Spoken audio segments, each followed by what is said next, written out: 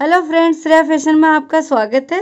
Friends हमारे subscriber की demand पे हम ये वीडियो बना रहे हैं कि सिलाई मशीन में कपड़ा आगे नहीं बढ़ रहा है। फ्रेंड्स सिलाई मशीन में कपड़ा आगे नहीं बढ़ने के कई कारण हो सकते हैं। आज हम इन्हीं समस्याओं और उनके समाधान पर चर्चा करेंगे। हम आपको बताएँगे कि कैसे इन समस्याओं को आप घर बैठे ही ठीक कर सकते हैं। सबसे पहले आप फुट को चेक करिए कि फुट ज़्यादा नीचे से घिस तो नहीं गया तो उसके लिए आप फुट को खोल लीजिए।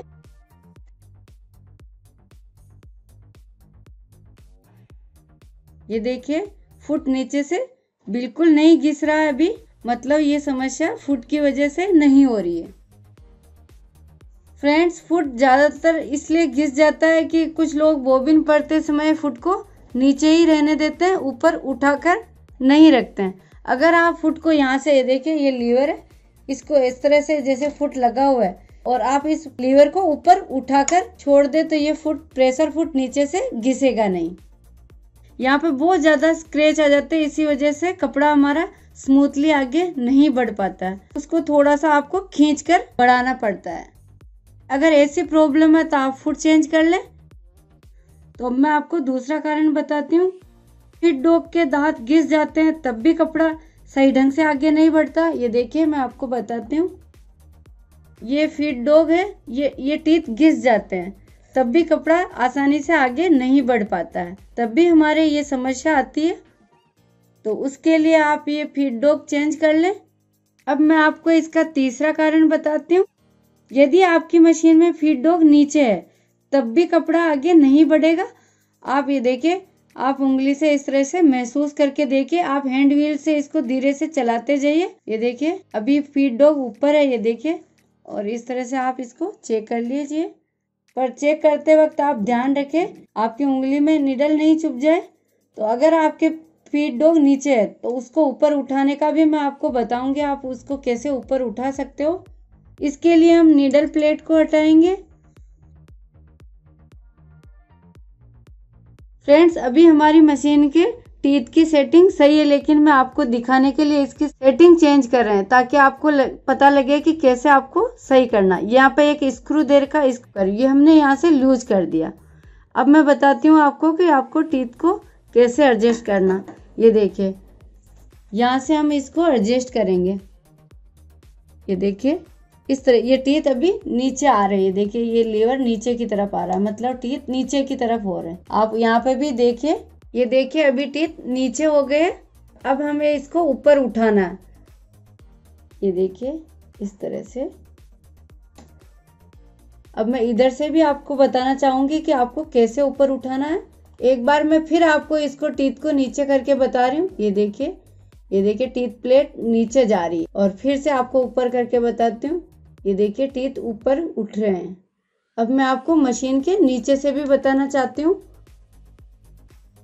ये यहाँ पे एक लीवर है। देखिए, ये लीवर है। ये देखिए, ये। इसको आपको इस तरह से करोगे, ये नीचे आ गए टीथ और अगर इसको ऊपर उठाना तो यहाँ से इसको दबाओगे तो ये ऊपर उठ जाएँगे। देखिए, मैंने आपको नीचे से भी बता दिया और मशीन के यहाँ ऊपर से भी बता दिया। जहाँ पे आपको सेट रखना वहाँ पे रख के स्क्रू को टाइट कर दें तो वो ऊपर उठ जाएँगे। लेकिन हो सकता है आपसे एक बार में सेटिंग नहीं हो तो आप थोड़ा थोड़ा इसको करके चेक कर लीजिए कि आपको टीथ कितने ऊपर उठाने हैं। एक और समस्या मैं आपको बताती हूँ, अगर आपके मशीन में ये ये आपकी फीडबैक प्लेट है, इस पर जो दो स्क्रू लगे हुए हैं, अगर वो लूज है, तब भी ये कपड़ा आगे नहीं बढ़ेगा। तो आप इसको टाइट कर ले दोनों स्क्रू को और यहाँ से आप थोड़ा इनके ऊपर जो कचरा फंसा होता है, उनको भी साफ़ कर लें। ये भी एक कारण होता है कि कपड़ा आगे नहीं बढ़ता है तो ये भी आप चेक कर लें। और भी कारण मैं आपको बताती हूँ। अगर आपने स्टिच लेंथ ज़ीरो पर कर दी, तब भी कपड़ा आगे नहीं बढ़ेगा तो आप ये स्टिच लेंथ डायल से आपकी स्टिच लेंथ सही कर लें कि आपको कितने पर रखनी है।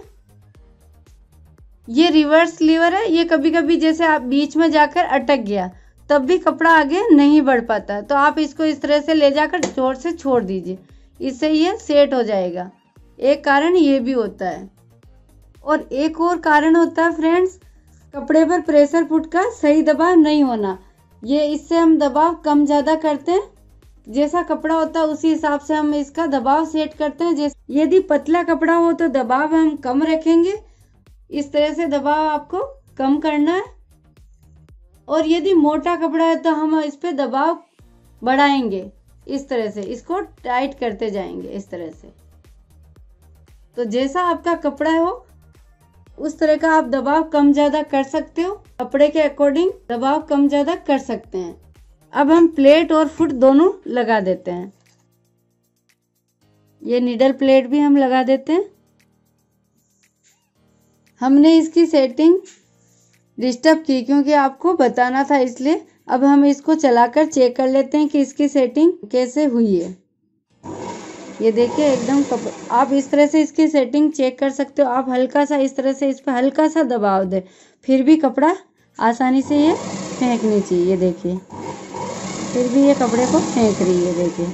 हमने इस पर हल्का दबाव दे रखा, फिर भी ये फेंक रही है। अगर हम दबाव नहीं देंगे तो देखिए बहुत ही मतलब हमारी सेटिंग सही हो गई। इस तरह से आप टीथ का एडजस्टमेंट खुद ही घर पर कर सकते हो।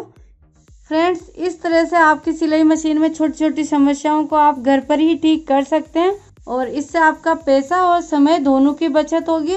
फ्रेंड्स आप मेरे चैनल को ज़रूर सब्सक्राइब करें और ज़्यादा से ज़्यादा शेयर करें और लाइक करें। थैंक्स